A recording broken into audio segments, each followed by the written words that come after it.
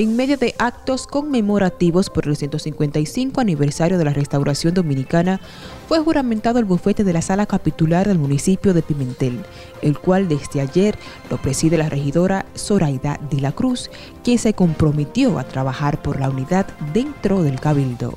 Bueno, me siento satisfecha por el apoyo que he tenido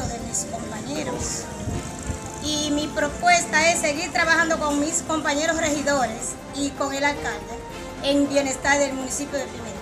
Recordamos que este ayuntamiento se encuentra inmerso en cuestionamientos sobre un posible desfalco millonario. Giovanni Cordero, NTN, su noticiero regional.